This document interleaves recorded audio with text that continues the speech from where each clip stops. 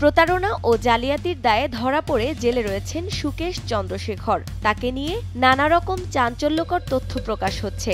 সঠিক তথ্য সামনে আনতে জিজ্ঞাসাবাদ করা হচ্ছে অনেককে। সেই তালিকায় আছেন বলিউড অভিনেত্রী জ্যাকলিন ফার্নান্দেজ। বলা হচ্ছে এই অভিনেত্রী নাকি সুকেশের সঙ্গে প্রেম করতেন। সুকেশের থেকে অনেক নামি দামি উপহার নিয়েছেন জ্যাকুলিন। সম্প্রতি এমনই দাবি করেছেন সুকেশের আইনজীবী। তবে এসব মন্তব্যকে স্রেফ গুজব বলে উড়িয়ে দিলেন রেস থ্রি এর এই অভিনেত্রী।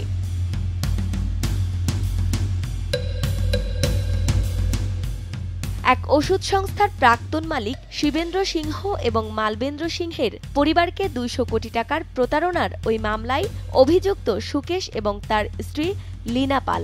তাদের গ্রেপ্তার করে দিল্লির রোহিণী জেলে রাখা হয়েছে। কেন্দ্রীয় গোয়েন্দা দপ্তর সূত্রের খবর অনুযায়ী, এই দুই অভিযুক্তের সঙ্গে সরাসরি যোগ রয়েছে অভিনেত্রী জ্যাকলিন এবং নোরা ফাতেহি। সেই তথ্যের ভিত্তিতে দুই তারকার বয়ান রেকর্ড করা হয়েছিল।